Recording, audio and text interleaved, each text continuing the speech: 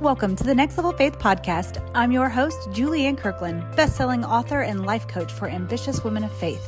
Join me each week to learn more about the strategies, tools, and mindset needed to arise from the overwhelm and create a joyful life you love. To learn how you can work with me further, grab your copy of my best-selling book Arise and Shine, or check out how you can get your ticket to my next Awake conference or retreat, head over to juliannekirkland.com. Also, be sure to hit that subscribe button so you never miss an episode because the best version of you begins on your next level of faith. This is the Call to Courage series. On today's episode, you will hear from Morgan Hart as she answers the call to courage to be seen. Morgan is a believer, a tattooed pastor, a full time worshiper, and a designer listen in and enjoy Morgan's story. Hey, hey, welcome back to the Next Level Faith podcast. I'm your host, Julianne Kirkland, and I'm so excited Morgan's here today. Hey, Morgan. Hi, guys. So happy to be here. Thank you for having me. I am so happy you're here. So, Morgan, you have such an incredible story of, of really like mental health resilience is which is kind of coming to mind right now. Um, so start to share that. Like where where did you start with this journey and and what kind of you know progress as to where you are now and why you have such a heart with helping women and men break free from the stigma of shame?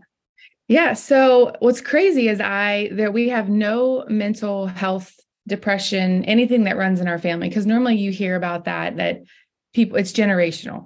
And right. so um i was a happy kid a happy teenager a happy young adult. Like i didn't have any like worries or anything. I mean, I was carefree and fun and and then um I think about I had my three kids and my husband and I were campus pastors at a church and literally the day that I took over the children's pastor position at this church is when I started battling these things. I don't even know what to call them. Um, if you want to call them demons, if you want to call them whatever you want to call yeah. them um, I started battling these things that just came out of nowhere. I mean, they literally hit me like a rock. And um, it was such a hard time in that that first couple weeks. I felt so I'll give you a, a little it it started with my health, my physical health, not my okay. mental health.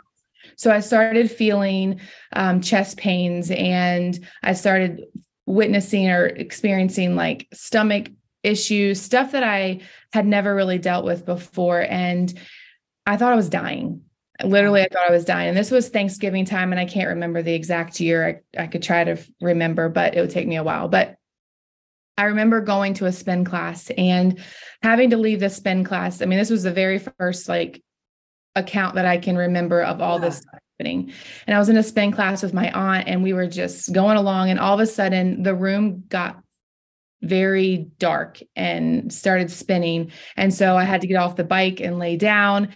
And after that day, after Thanksgiving, the, the course of the next couple months was really living hell for me. I thought I was having heart attacks. I thought I was, um, I mean, I spent numerous nights in the ER. My husband it, it, was just thankfully my parents live where we are and so they were able to help out as much with the kids like i said i had three children at the time they were six four and two so they were pretty young and multiple nights in the er and then about the new year time frame i finally went back for one of the last times and the doctor was like morgan there's you are perfectly healthy physically perfectly healthy.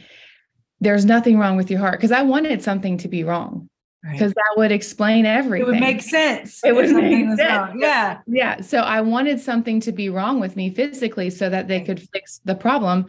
And so I remember sitting in the hospital bed after I don't even know how many this is probably like the fifth or sixth stress test that I've had. If you've never had a stress test, they're not fun. Nope. And um, he's like, You're you're perfectly healthy. And I'm like, no, no, I'm not. Something is wrong with me. I'm not quite sure what it is.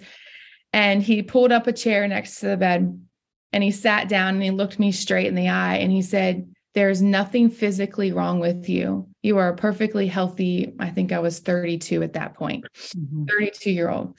And I said, Well, what is wrong?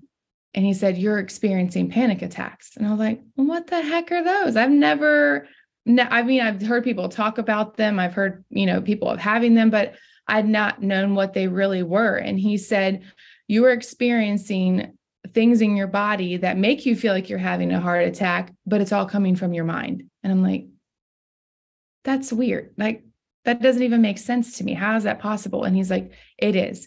You need to go see a doctor because you're, as I've seen you, you're progressively, you know, you're getting worse. You're not getting any better. And so I remember being my husband was in the military at that point, still in the Navy. And so we had TRICARE. And if you know anything about TRICARE, it's just really hard to to to get an appointment with, with somebody that's not inside TRICARE. So I go see my PCM, which is my primary care manager.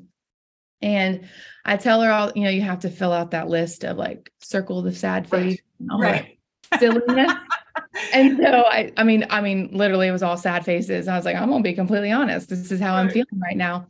And she came into the room and we talked. And without even really getting to know me, she said, I want you to try this medicine. And I was like, and I'm not a medicine taker. I don't, I don't, I love functional medicine. I love trying to heal yeah. from the inside out. I don't want to put stuff in my body. And so, yeah. and I've always been that way. Like even with Tylenol, my Anthony gets so mad at me, and I'm like, I want, I'm gonna fight it. I'm gonna lay down. I'm gonna drink the water. I'm not gonna take this dang Tylenol. So, um, sometimes I have to, obviously, right, but but I was so perturbed that she didn't even take the time to get to know me. She didn't even get to take the time to say, well, maybe we need to give you like a psych eval or um, just go to a psychologist or a psychiatric psychiatric? Whatever. It's like i can't even think of the word. But she but none of that. She just literally wrote me out a prescription for um i can't remember the name of the medicine but and i remember going home defeated i mean i felt so defeated because the one person that i thought was going to be able to help me a little bit in this journey was her and so i went home took the med took one pill and completely felt convicted on taking it i don't know what it was about me but i did not um like the way it made me feel. And I'm like, I don't feel like this is what I'm supposed to be doing. And so I mm-hmm. literally dumped the medicine out and got rid of it and continued on this journey of just fighting it alone. I did, I felt completely alone and it, it progressively got worse. Obviously, things get worse before they get better. And I remember um, it, you know, the suicidal ideation turning into um, complete I lost 30 pounds in a month. I didn't get out of bed really at all. And again, thankful that my mother, she was a principal at the time. She took so many days off of work to come over and just take care of the children when Anthony couldn't and couldn't be there because of work because he was in the military at the time. And so um, barely got out of bed. I wasn't a mom, a mother. I mean, but the funny thing is, is I was able to walk in on church on Sunday morning and nobody knew what was going on. I could play the part wow. very well. And wow. so, um, I mean, people knew that I was losing weight. That was about the only thing that they could they they could physically see. I'm sure they were complimenting you on it. Too. Yeah, they were, and I'm like, well, it's not really happening for good reasons. And so, we, I remember it just um, is like February, March, and April, things just got really bad. And I mm-hmm. remember my husband had to leave for a month. And so my mom um, took off work the entire month to stay with me. I maybe not the entire month, but she was there from my recollection a long time. And so, um, and during that for four weeks, things got really bad.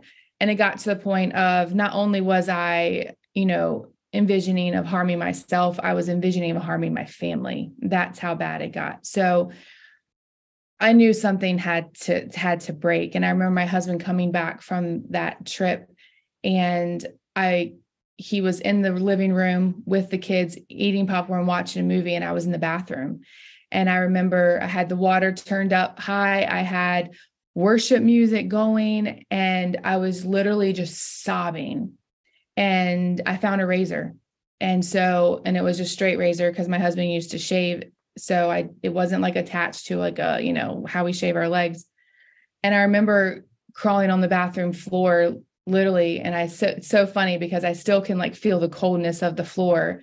And I remember um, having that razor to my wrist Wow. And I, I mean, literally, my family's in the next room. I can hear them.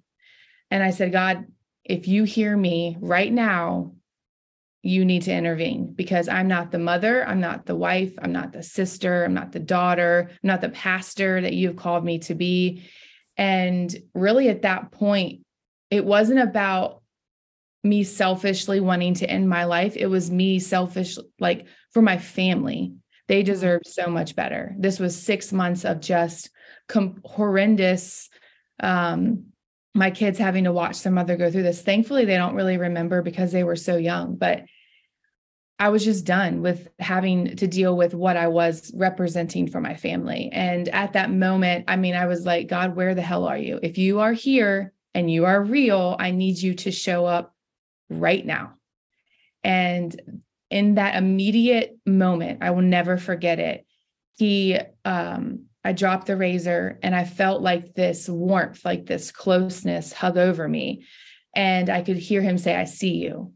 And I'm like, and I immediately just screamed and started sobbing. And Anthony ran in. And mind you, my husband knew I was going through things, but he did not know the extent of my thoughts right. and what was happening because I I really thought that if I told somebody, I would have been taken away. And I would have rather ended my life than go away. Right. Um, because they're not th- they're not your normal thoughts. Now, right. Suicidal ideation, hurting yourself is not quote unquote normal, but when it comes to hurting your family, like mm-hmm. that is the next level that I was like, oh my right. God, if I tell anybody this, they're gonna lock me away. Like I'm gonna right. go away. And so um, in that moment that I dropped the razor, began the healing process because I was able to, I started expressing how I was feeling. Yeah. And I started opening up. And I mean, I, I mean, this was months of panic attacks, not sleep. I mean, I I could go in and I could talk for hours about everything that I dealt with, but I will tell you one dream I had, and it was um, not long after that razor bathroom. I call it my bathroom floor moment. Not after long after that, I had a dream, and I was in this dark room. And I don't tell this dream to a lot of people just because some people are like, that sounds crazy. but um, I was in this dark room and I could see this glow oh like far away and i could hear the voice of god telling me walk towards it. And so i started walking towards it and it looked scarier and scarier and scarier. And i was like i don't want to walk anymore. And he's like no keep walking. Mm. so i kept walking towards it. And as i got closer i noticed it was this um it looked like a demon like curled up wow. in a ball of flames and so i walked over and um, God literally said, Go put your foot on top of it. And so I walked over, I put my foot on top of it, and he said, You will never have to deal with this demon again. And so, and then I woke up immediately. Oh, I've got all the whole I know, girl. Every time I tell it, I get I get goosebumps. Um, because it was such a powerful moment because in that moment I woke up and I I truly knew that it was a demon that I was battling. It yeah. was and it it wasn't something that was I was going to have to deal with for the rest of my life. Now there are moments where the enemy still tries to get at me, and I'm like, you knew, knew, you know, God already told me that. But I truly felt that my calling in this life is to help women that have that are going through it that are still yeah. fighting because I understand. Yeah. Like I know how it is to get to the lowest of the lows and literally the razor on my skin feeling of almost taking my life and again the shame and disappointment that I was afraid to tell even my husband. Right. Because I didn't want anybody to think less. I was a pastor. Like I was right. You're like, God, I'm working for you. I know. I'm like, I should not be dealing with it. Right. Yeah. So, but yeah. And so from then on, I it took me years, honestly, before I could really tell my story without completely losing it and yeah. actually feeling those feelings again. Yeah. Um, and so it's been within the last couple years that I can really actually talk about it without like emotionally breaking down and yeah, and, sure. But yeah, it's just the journey I'm on now and I feel like now um even over the past couple of months of stepping away from this business I was a part of um, to really fully step into the calling of helping people and becoming more of a mental health advocate and um, just stepping into more of what God is calling me to be. It was Yeah. a wild journey, but Oh man, Here. an amazing journey. Yeah. So what what would the Morgan now? Because here's what happens, right? So I work with a lot of, you know, like arising entrepreneurs that are wanting to start getting their message out there in the form Yeah. of a business or speaking or, you know, writing a book or whatever. And and so often in that entrepreneur industry, right? We're told to like, okay, create your blueprint, create your formula. And there's things such as this yeah. that there's not like, oh, you take this step and then you take this step and then you take this step and then oh. So what would the Morgan now, if she were to go sit beside the Morgan on the bathroom floor, like what did the Morgan on the bathroom floor need to hear in that moment? Gosh, now you're gonna make me get emotional. Um, I should have brought tissues. Um, It's okay, we can get snotty, it's fine. I'm like, holy moly, I'm gonna get crying over here. Uh, I think what she needed to hear at that moment is, I see you. Mm, You are worthy. You um can fight this. Sorry, my dog. Um, just I see you because I felt like I was so covered in this shadow of where nobody saw me. Um, and even though I was going through all these hardships and I didn't tell anybody, I'm like, how can nobody see the crap that I'm going through right now? Like, I know I'm not hiding it that well. right. And I think sitting beside her, just letting her know that she is seen and loved and worthy and known um, is probably what I would tell her. And because all of those things I did not feel at all. Yeah. Yeah, it was not fun.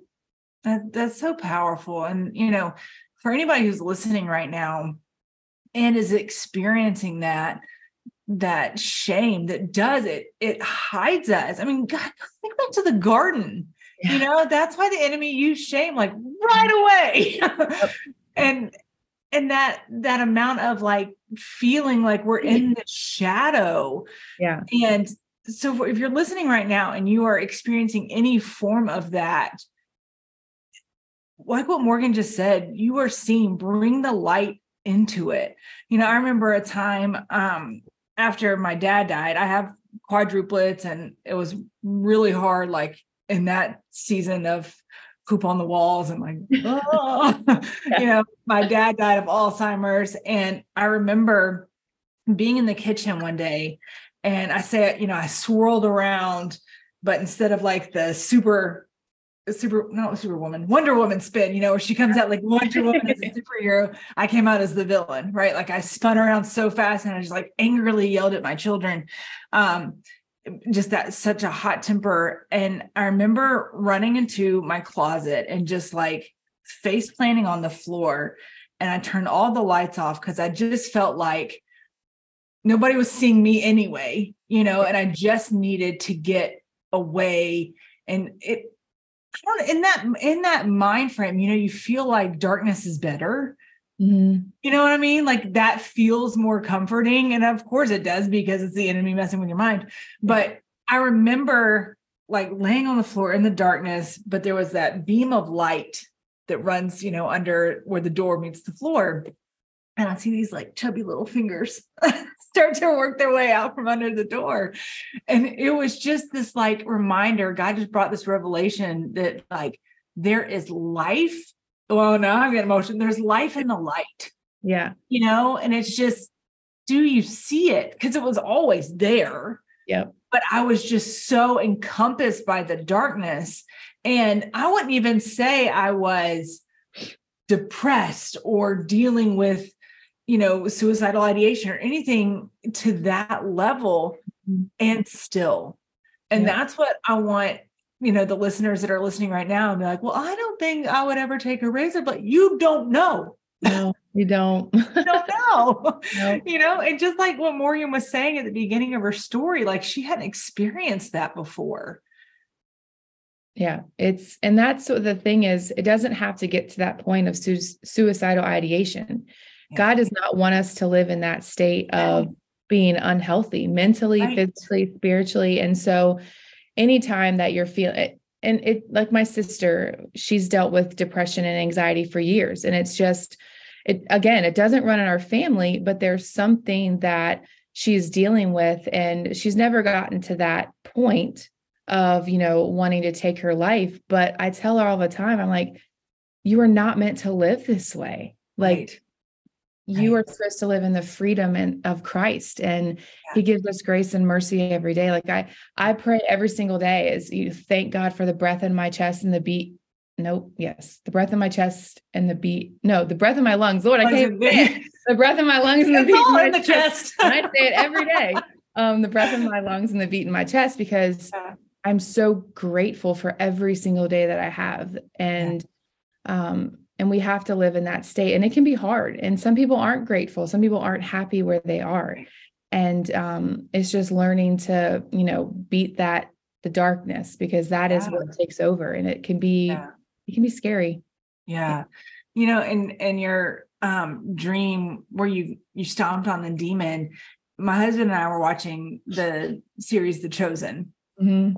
and um it was when mary magdalene is like she's in her mind already been cured, right? And she's out, she's with the other disciples, and um, the stranger kind of walks into their camp who's possessed with a demon. And you know, Jesus comes upon them and yells, you know, get out or flee or whatever. And then the demon goes. But then it's like Mary goes right back to where she came from, like literally walks back to where she came from. Um, and my it brought this conversation up with my husband and I of like it seemed so obvious then that it was demon possession. Mm-hmm. You know, now we've gotten so comfortable with um, mental wellness and the terminology that goes into all of that. And to your point, they can be one and the same. Mm-hmm. You know, and that that was my point to him is like was like, man, you just don't see demon possession as much anymore. And he was like, yes, you do. Everywhere. and I was like, oh, that's a good point. yes, it is. Just, we don't, we almost are afraid to yeah. to claim that for what it is. Mm-hmm. And it's my husband. I talk about it all the time. Is you know even I mean they're even in the church. Like I feel like the church has gotten so to the point now where they're so afraid to talk about demon possession and all that stuff that they're sitting right on the pews because you're not truly preaching preaching what right. Jesus wants you to preach. And so I would say it's like this vision of like um Jesus is sitting on the back pew of mm-hmm. every service. He's just sitting there yeah. and he's just waiting for that invitation to come. It's yeah. demon possession is everywhere. It just doesn't you just don't um it's not like the Bible where you know they're right. into pigs and they're all that, you know, it's not that right. vivid, but it's everywhere. Yeah. It's everywhere. And it's um yeah. It's and again, like there you are in the church working for God. Yep. and it still happened to you. Yep. You know, and that's what people need to grasp is that you don't you don't have to be what people would like to classify mm-hmm. those who get possessed. Yeah. Yeah. You know? It yeah. doesn't and have I, to be one of those movie moments. exactly. Not, yeah. Yeah. It's crazy because, and then, um, and I see it not even as so much as a possession in some regards, it's almost just like an attachment.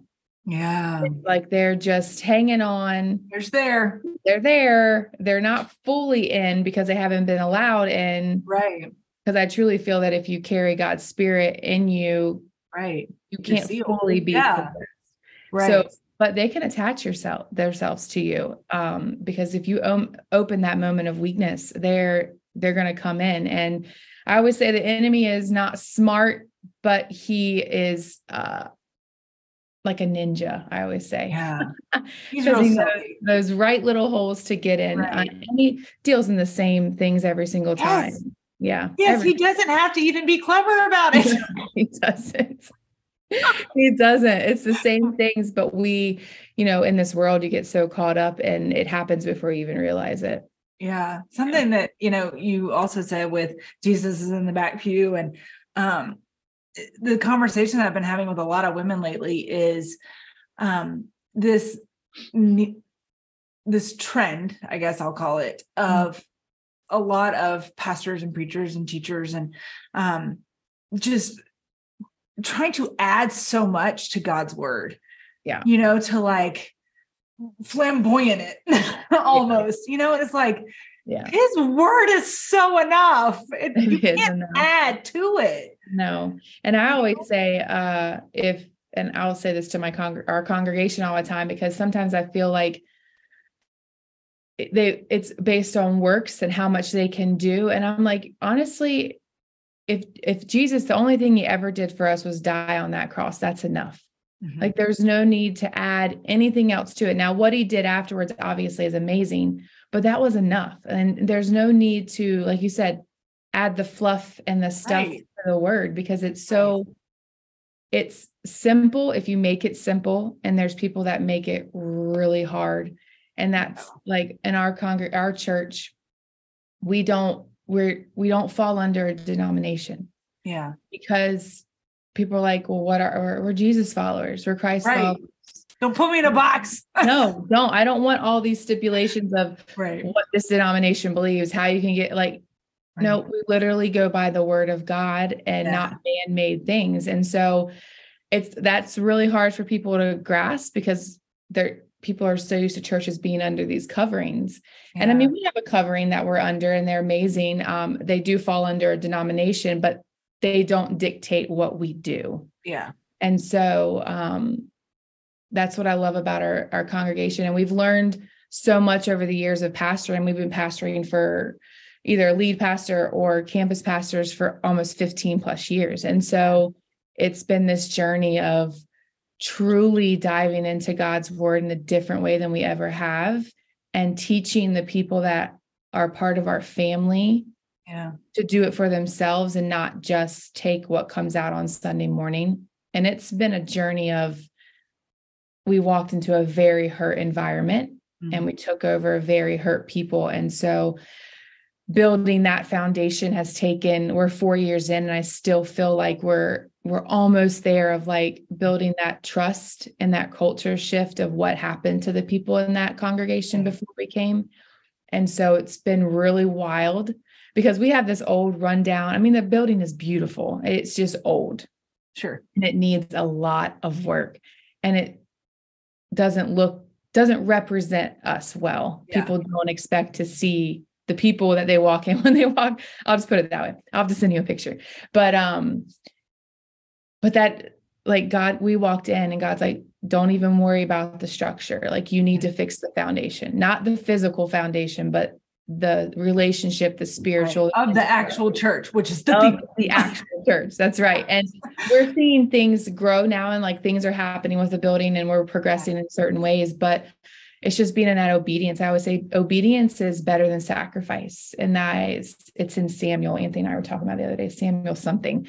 Um, I was like, oh, I, I love tattoos. Obviously, I was like, I'm going to get that scripture tattooed somewhere that I can see it because it truly is. Being obedient is so much better than sacrificing. Obviously, we have to sacrifice in our walk, but right. when you're obedient, it just comes. It's easy. Yeah.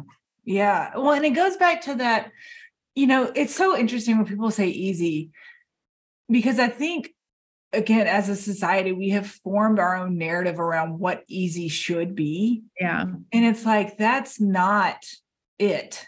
There's mm-hmm. an ease to it and there's yeah. a simplicity to it. Yeah. You know, but like I always want to caution people when they hear the word easy and and associate that with their walk because I'm like, no, no, it's not. and we tell people all the time when they first come to Christ, like, here's our phone number, here's our email, because you're going to battle. Like, here we oh, go. It is about to begin. And, yeah. and when the enemy comes even harder. And so it, yeah. And when I say easy, I say it's I don't even know what I mean when I say easy because yeah. um it's still hard. Every single day is hard. And um just learning to just lay it down at his feet every yeah. single day.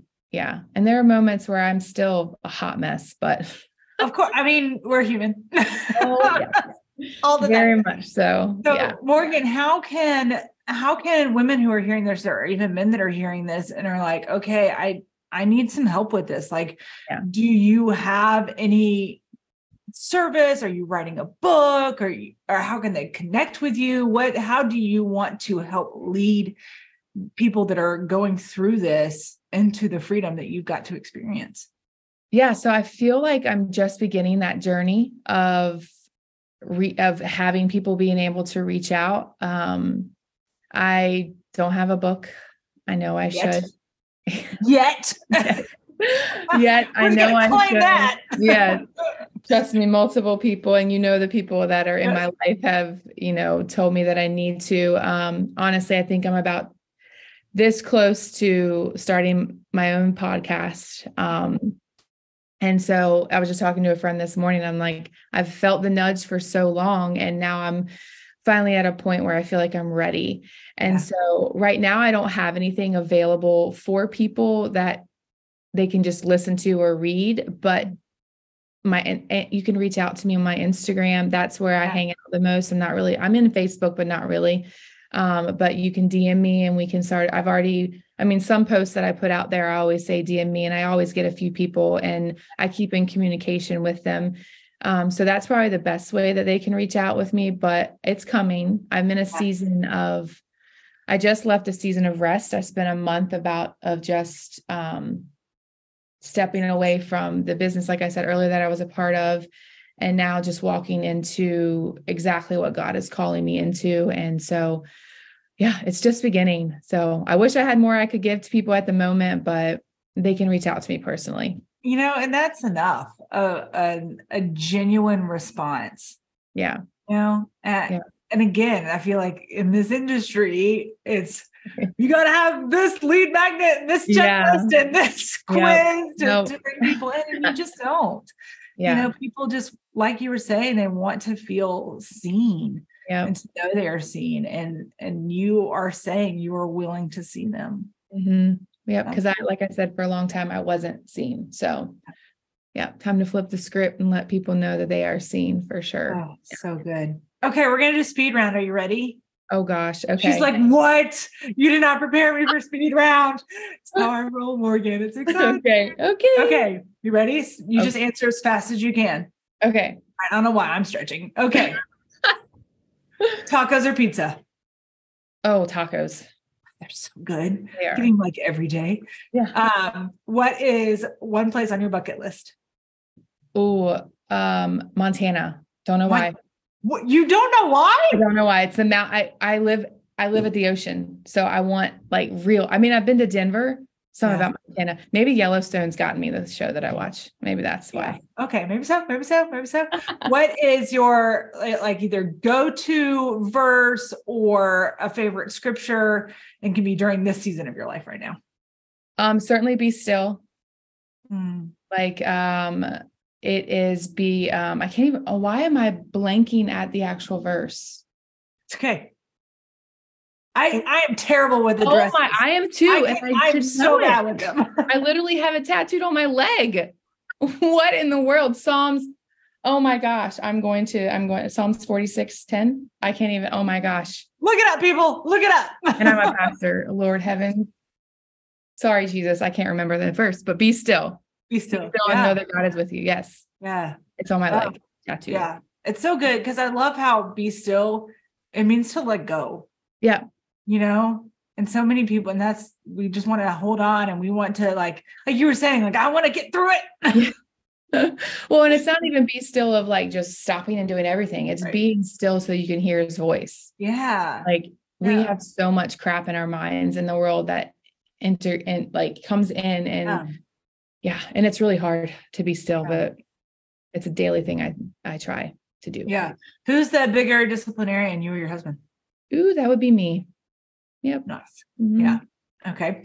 What is um one piece of advice that you would give to the woman who right now uh, desires to be seen? Ooh, speak out. Mm. Oh. Talk, find that one person if it's your husband or a friend or a mom or a dad find that one person to talk to because we can you like I said before, I held it all in. I didn't tell anybody. And nobody's gonna know of what I'm going through if I don't talk to somebody. So just find that one person that you can talk to. Don't don't hold it all in. Oh, so good. Morgan, thank you so much for coming and sharing your story with us. I know it's going to bless so many people. All right, that's all we have for you today, my friends. Remember, the best version of you begins on your next level of faith. Bye for now.